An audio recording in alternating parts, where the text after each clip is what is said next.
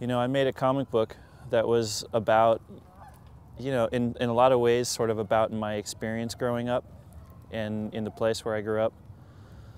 And uh, I took it back to the comic book store, sort of my hometown comic book store, and uh, they were just really freaked out by it. They didn't really even want to carry it.